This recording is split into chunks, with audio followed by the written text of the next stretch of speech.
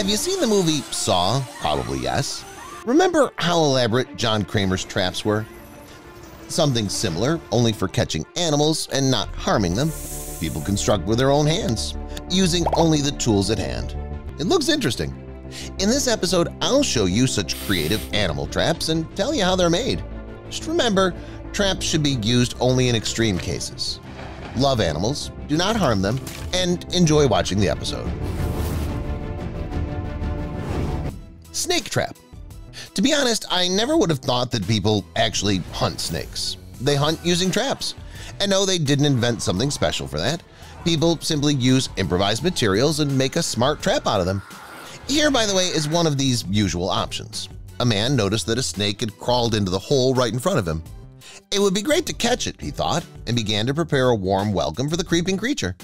To do this, he took an angle grinder and set it up right at the entrance to the snake's lair. Tell you the truth, all kinds of bad thoughts began to enter my head like, he wants the angle grinder, snake, you get the idea. Fortunately for our nervous system and psyche, this didn't happen. Everything turned out to be much more humane. The man just wrapped a lot of rubber bands around the angle grinder and used the disc as a moving mechanism. Then he set the classic trigger and went about his business. As a result, an unsuspecting snake crawled out of the hole and involuntarily snagged the trap.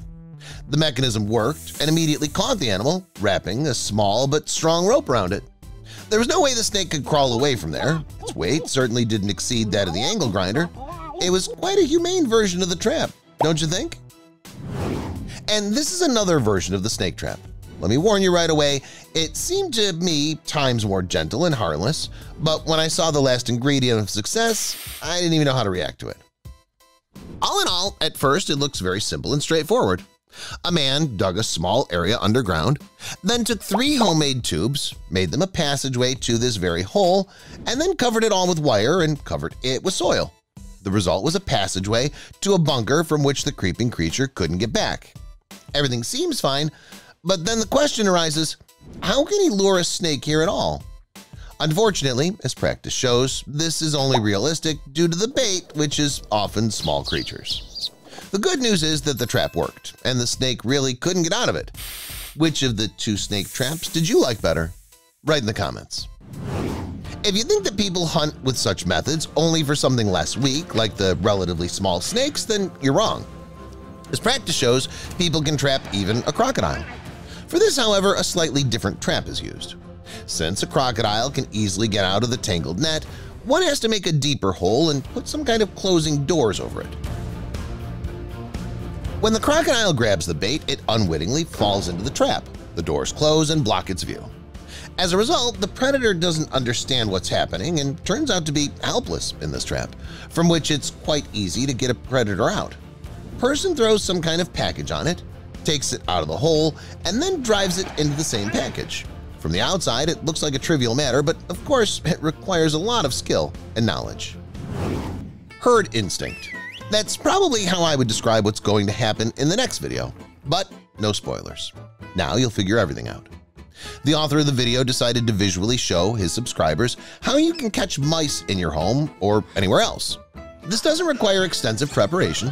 All you need is a large tank, a large bucket in this case, a film that can be stretched across the top of it, as well as food. Lots of food. The plan is as follows.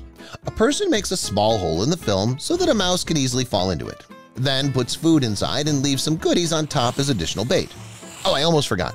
In order for the mice to get to this very food, it's still necessary to make a mini bridge. And then then Mother Nature will do everything for you. The mice will crawl up out of curiosity and find the food. They'll immediately pass the information on to their congeners, and a crowd will come. Everyone will want to eat the goodies, and they'll even be willing to come down. Of course, the mice will find food there, but it's unlikely they'll have enough for a lifetime. And then what I call the herd instinct will happen. Seeing their congeners jump down one by one, each new mouse from above will think that it's necessary and there's something delicious, interesting down there, or something that they never saw in their life. In fact, it'll be empty down there, and it'll turn into some kind of crush and fuss until a person comes. Well, at least there was no live bait here. Thanks for that. Was it possible? That's how I reacted when I saw the next trap in action. I used to think there was nothing better than hunting fish with a rod or net.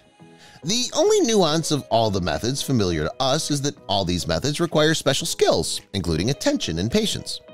And now the most important thing. The trap that I'm going to show you now doesn't require either at all. You simply do what the guy in the video did. You dig a trap next to a shoal, then you make a narrow entrance for it, so that it's convenient for the fish to get through there, but it's almost impossible to get out. Then you can go about your business for an hour or two. The result will surprise you. Just look at how many fish have fallen through here in that time. A trap for wildcats. We're all accustomed to the fact that cats are our favorite pets. They're always around, ready to cuddle, rub up against the owner, and so on. Except that, unfortunately, or fortunately, the world of cats doesn't end there. There are many representatives of the feline family that live in the wild, and I don't mean stray cats. I mean those that have settled in the woods or elsewhere. It's these representatives of the feline family that people decide to hunt. Let me tell you right away, there's nothing to worry about. They weren't doing it for the purpose of selling the cat or eating it. They were just curious to test the trap in action. And the point of it was insanely simple. There's food. This is bait for the cats. It's covered with a small piece of wood. As soon as the woods moved, the cat's wrapped with a rope, which won't let it leave the territory. At first I watched this video and thought the cats had fooled everyone. They managed to get a treat and not get trapped, but it didn't last long. Pretty soon the cat's paw was enveloped by the trap. Now let's talk about rabbits and see how one can catch these fluffy creatures in the wild. The main nuance to consider is that all but one rabbit species live in underground burrows. This is what distinguishes them from hares, which build nests on the surface. Also, if you scare a rabbit, it can die on the spot, so it's important not to overdo it and make the trap safe for its nervous system. Another important point is that the rabbit eyes are arranged very unusually. These creatures can see what's happening behind them without even turning their heads. With all these factors in mind, the author of the video decided to catch a rabbit right at the exit of its burrow. To do so, he used an axe. Come on, don't panic right away. He didn't use an axe for the purpose you think. It served as a load, as a heavy object. The man made a trap similar to the one you and I saw at the beginning of the episode.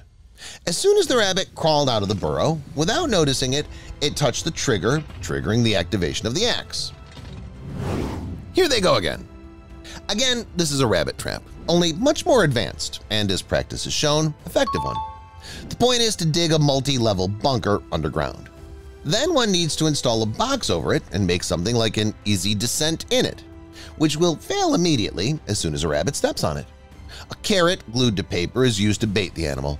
This way, it will allow a person to hunt several members of the rabbit family at once. I didn't think this plan would work to its full potential, but just look at the result. With this method, the man caught one, two, three, in short, many rabbits at once. That's a great trap. That's all, guys. Which trap did you think was the most original? Let me know in the comments. Thank you for watching, and see you later.